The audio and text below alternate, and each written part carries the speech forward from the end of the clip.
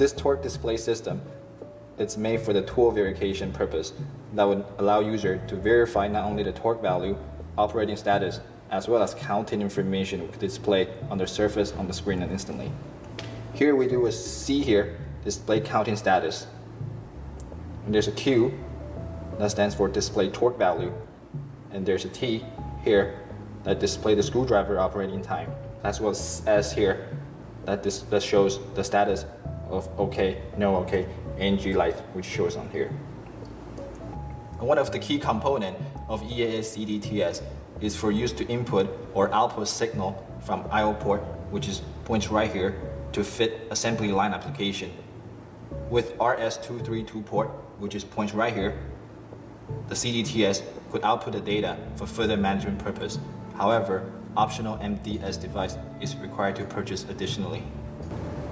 The compact box exterior of this torque display system is made of aluminum with 125 in width and 120 in length.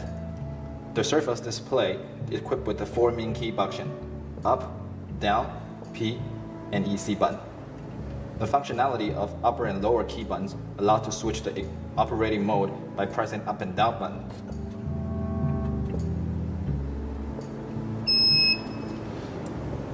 Pressing down or up to select individual setting. To exit, press and hold the P button for 3 seconds. And the P button, when you press and hold the key for 3 seconds, allow you to confirm or exit from the current setting.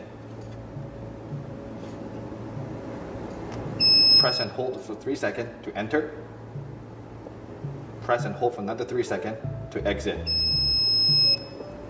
For the EC button, we'll give you the confirmation functionality we're in the senti mode or unable to clear the status of this plate light while you're in the normal mode. For example,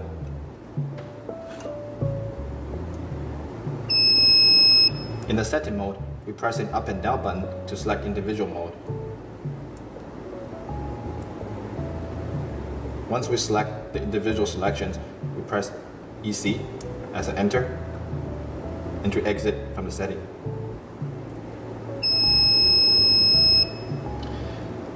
In the normal mode, EC button also act as a clear for OK, OK all, and NG light status display light.